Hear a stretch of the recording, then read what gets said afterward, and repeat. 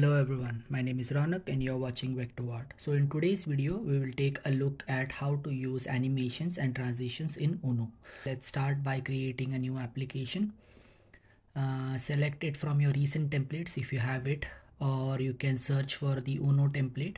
If you do not find them, please check out my previous video where I have explained how to install Uno in Visual Studio.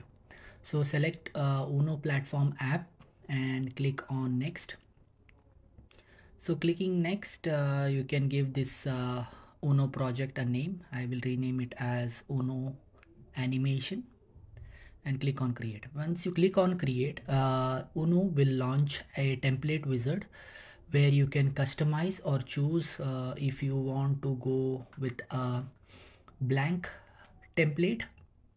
As you can see here uh, started template or you can go with the default one. The default one has all the project types uh, uh, selected. So I will go and click on customize.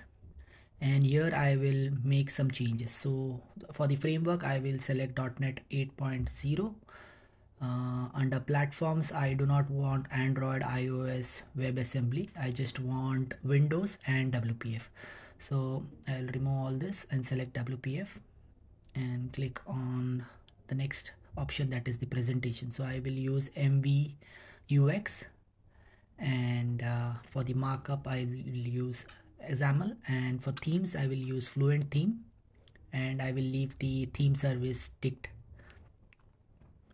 Uh, for the extensions I will leave all these as is uh, but um, you can choose if you want them or not. Uh, for the features section I will remove the server project I will uh, leave the tools as is but I do not need Visual Studio Code debugging and sized uh, package management for this uh, example.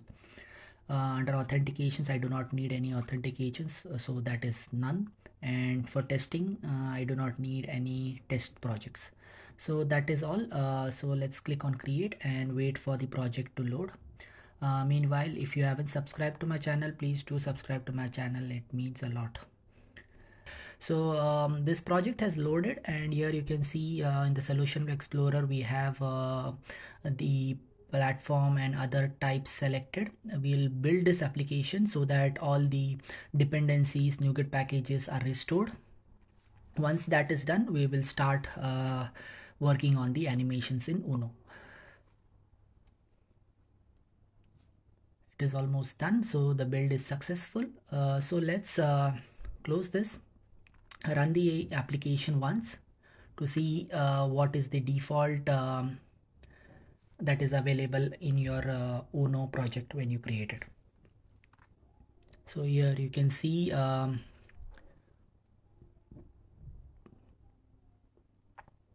this is the default template uh, that uno gives you. Here you can enter your name and it and there is a basic navigation. So when you click on this button it takes you to the second page. So there is a main page that we will work on in this uh, example. So let's go to our solution explorer. And here let's minimize all this. And under our WPF uh, project, uh, let's go to presentation main page and open it up. So all our uh, code uh, for this uh, example, uh, we'll be writing it under this grid. So let's remove this code and I'll paste the code snippet that I have for this example so that not write all the code and instead concentrate on the example that we have here. So uh, first things first uh, we have the stack panel and inside the stack panel we have a stack panel resource and inside the stack panel resource we have the storyboard that we created and it has a double animation inside this. And uh, this is the animation that we are going to demonstrate. So here the target name is my animation rectangle which is the name of the rectangle and the property that we are going to animate is the opacity.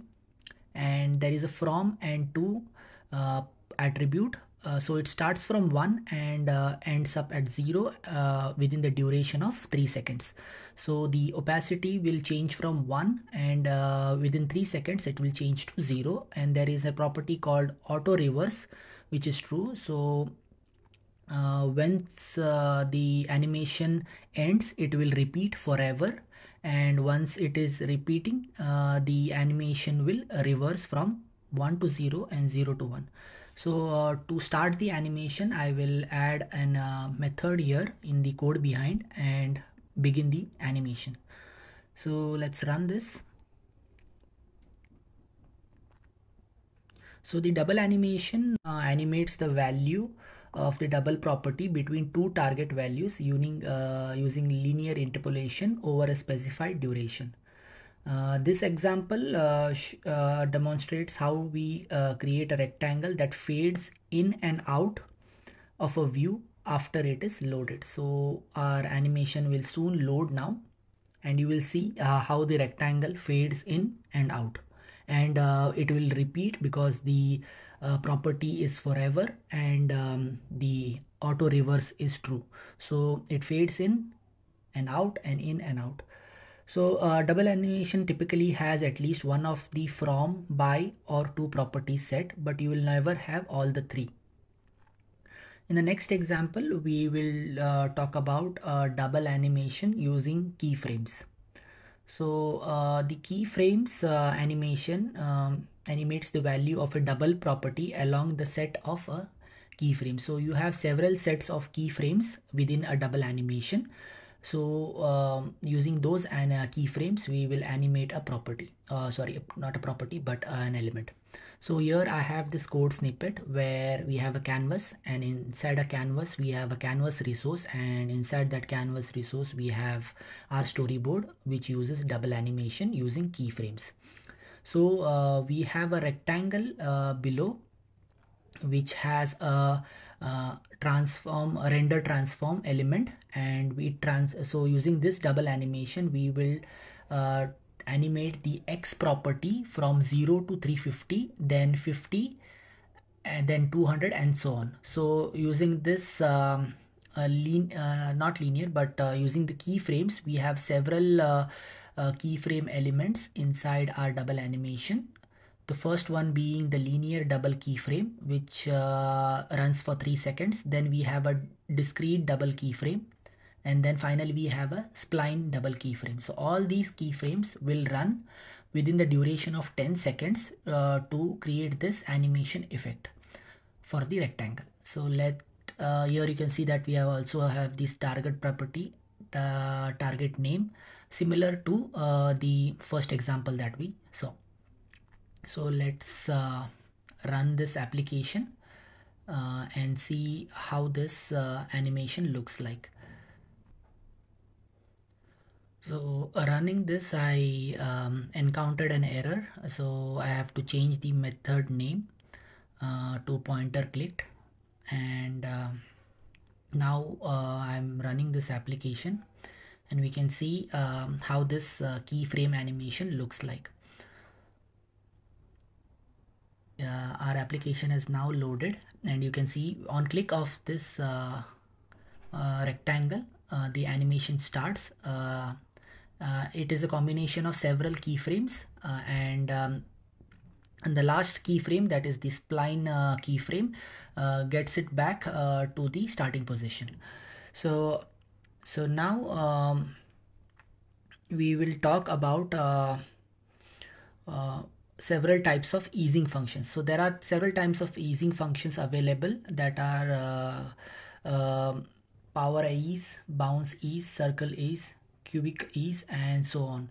So you can check them out uh, in the description. Today we will talk about uh, back ease and elastic ease. So back ease uh, represents an easing function that changes a value in the opposite direction of the main function during a part of uh, duration then reverses and finishes the function over time behavior in a conventional way. So what does that mean? So um, if you see uh, this example that uh, I have pasted here, we have this stack panel again. Inside this we have the resources and the double animation that you see um, in the in our previous example. But inside the double animation you will see um, the easing function where we have created a back ease uh, easing function. And easing mode is in and out so uh, in the following in this example uh, the back easing function to the double animation will create an animation that re uh, that retracts slightly at the beginning and end of the animation. So it retracts first then moves forward and uh, again it retracts. So if you see we have uh, several easing modes also. We will talk about them later. But uh, for now we will run this um, application and see this uh, back ease animation in action. So let me run this. It is a, uh, start animation because I have uh, I copied the old code. So let me copy this function name and paste it here so that uh, it will start the animation on button uh, on the rectangle click. So let me run this application once again. So when you click on this rectangle the back ease uh, easing function uh, will apply the default ease in um, animation. Uh, but uh, in our example we have set it to ease in and out. So this animation will first retract inside back and then animate and then again retract. So there are other easing modes. So if the easing mode is ease in which is the default then the function starts by changing the value in the opposite direction of the value change uh, that um, the from and to indicates in other words, uh, it initially produces a value that is less than the from value. So the from value here is 1. So when I run this uh, application, you will see that uh, it will retract first. So on click of this rectangle, so it retracts first and then animates. So this this is the ease in uh, easing mode of the easing function. So next uh, easing mode would be the ease out. So the function starts in a typical way but uh, near the end uh, it will exceed the value and then come back to the value at the end so this means that when this animation or this easing mode is applied uh, on click of this uh, or, or, or on, on start of this storyboard the animation will start uh, normally but at the end of the animation it will exceed the 2 value and then go back to the 2 value so the application is loaded and now when you click you will see that it exceeds the 2 value and returns back to the 2 value okay so the last one would be the ease in out. This easing mode, uh, the function gives the value that is less than from at the beginning and greater than 2 at the end. So this means that when you click on this uh, rectangle to start the animation, the anime the value will be less than the from value at first. Then it continues with the animation and then it exceeds the 2 value uh, and goes back to the uh, in, uh, final value of uh, the two property.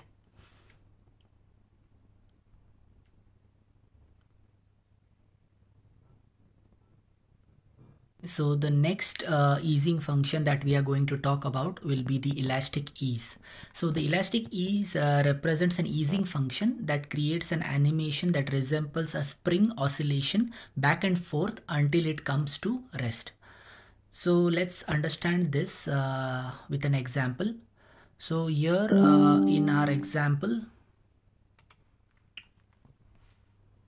let me paste the code snippet that I have. And here in our example we have the similar uh, code that we had but instead of a back ease we have an elastic ease um, function here which will oscillate uh, and here we have also the oscillation uh, prop uh, property which will oscillate this animation uh, thrice. And uh, the easing mode is by default is in ease out uh, sorry um, the value that is set is ease out. The default easing animation or easing mode would be ease in.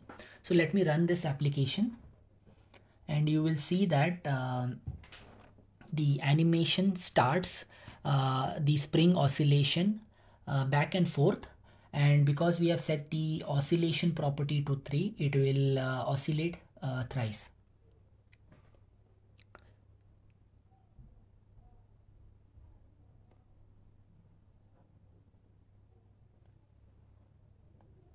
so we have our uh, window loaded.